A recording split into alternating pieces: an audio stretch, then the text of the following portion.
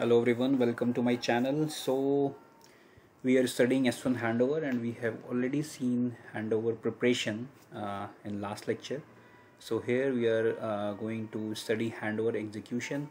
So the figure that i have shown uh, this means uh, these indirect tunnels has been created uh, as a result of handover preparation procedure.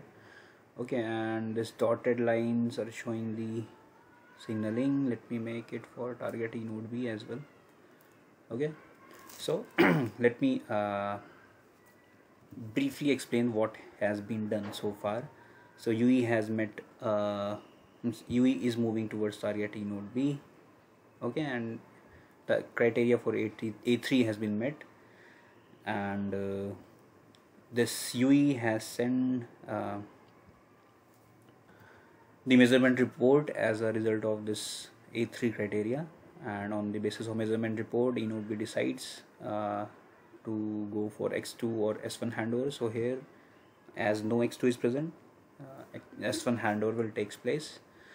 Okay and during this uh, handover preparation this indirect tunnel has been formed using different different DIDs that I have shown in last lecture. Okay and and currently this is the S1 bearer uh, which is used uh, for the sharing of uplink and downlink traffic between eNode B and SGW and this is the DRB which is used for the sharing of uplink and downlink traffic between UE and source eNode B. Okay but now source eNode B wants to hand over its uh, all the services to this target eNode B. So let's see how it will take place.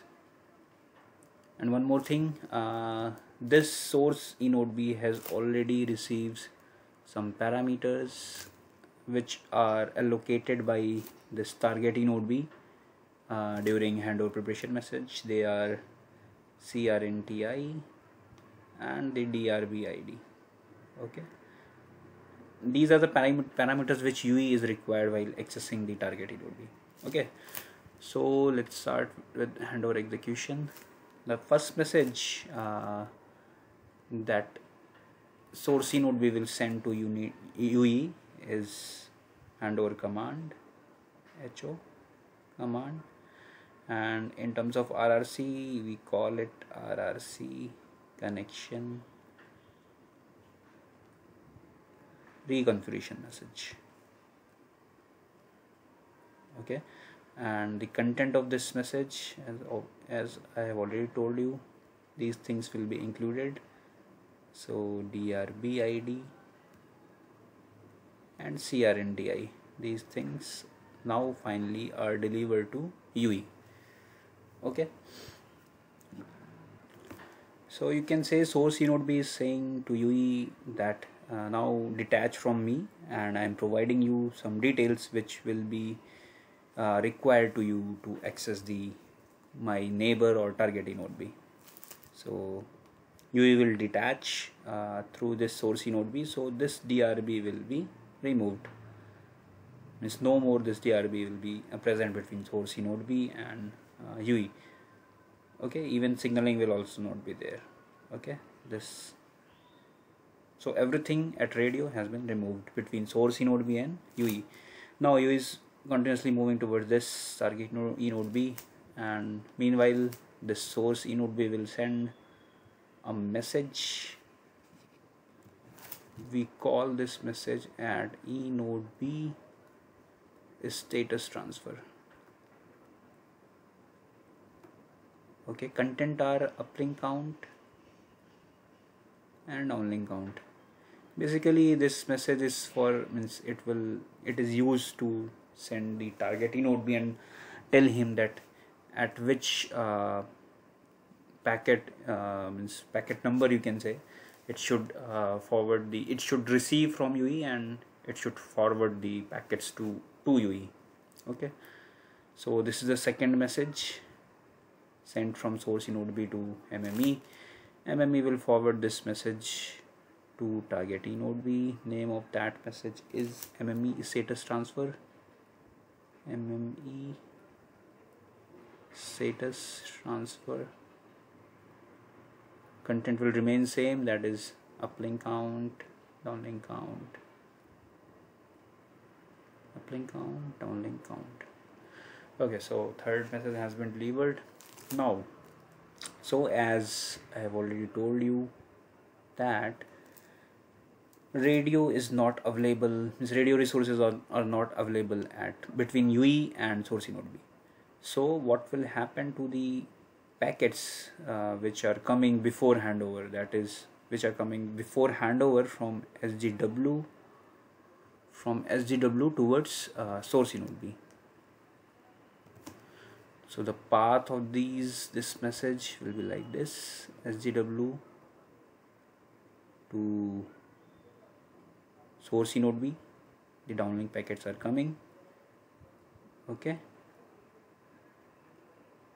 because this is the bearer which is established between uh, enode B and SGW before handover. Okay. But uh, because SGW doesn't know that handover is uh, proceeding uh, between source node B and target node B. So SGW is behaving as it was uh, behaving earlier. Like uh, it is sending downlink packets to source node B.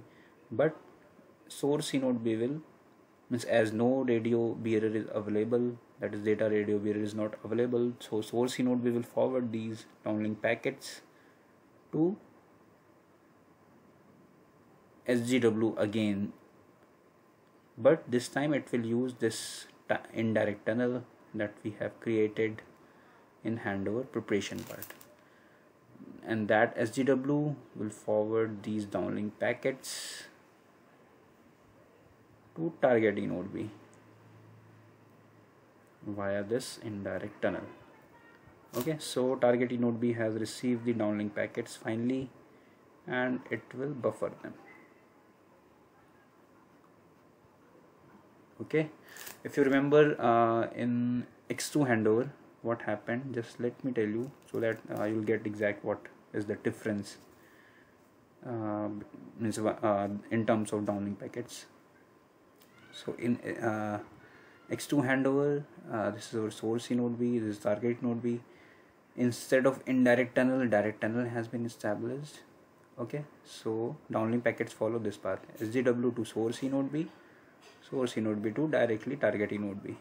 Okay but here uh, the story is little different from sgw to source node b and from source node b to sgw again because direct path is not available towards target node b okay so then sgw forward those downlink packets to target node b and target node b starts buffering them because uh, so far UE hasn't accessed uh, this target node B. Okay, so let's call this process number four.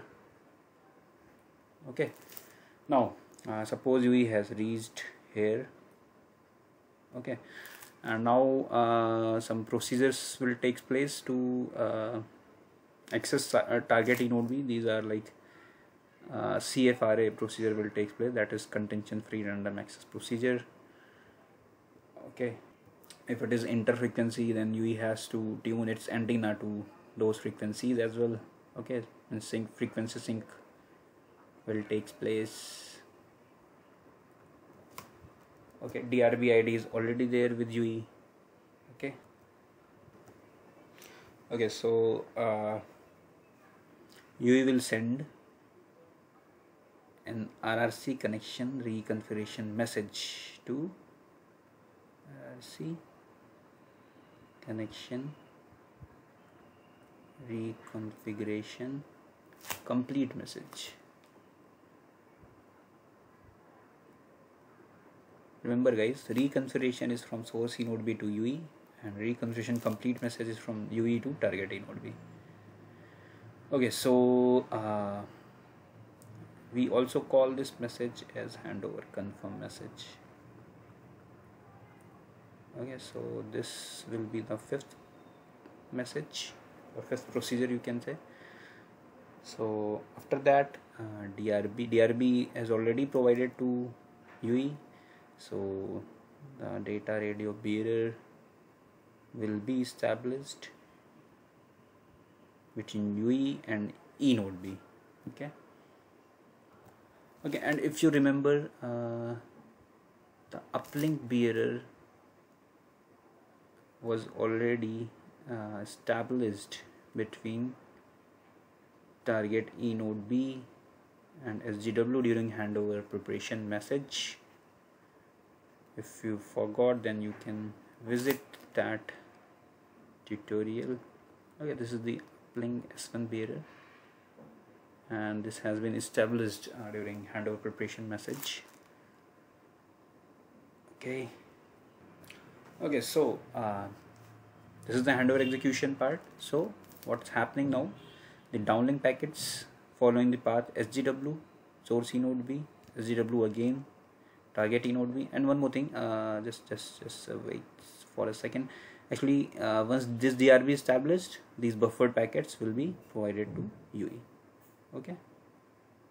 So now the communication or you can say the transmission of uplink and downlink packets started between UE and target node B. And the uh, path will be from SGW to source node B, source node B to SGW again and from SGW to target node B and then target node B to UE. This is the path of downlink packets and the uplink packets will follow the path UE to target node B and then target node B to SGW. Let me draw a line so that it will be easily visible to you. This green line is showing the uh, path of downlink packets. This is SGW to source node B, source node B to SGW, SGW to target A node B, and target A node B to UE. It's a very long path. Okay. And now the uplink packets will follow the path from UE to targeting node B and from targeting node B to SGW and SGW further forward those packets to PGW okay. Here the PGW will be present okay so this is the handover execution means uh, for this call this means uh, so far or better to say means in handover execution this will the this will be the flow of downlink and uplink uh, packets. We can say the path of downlink and uplink packets. Okay guys in next lecture we'll see handover uh, completion part. Okay thank you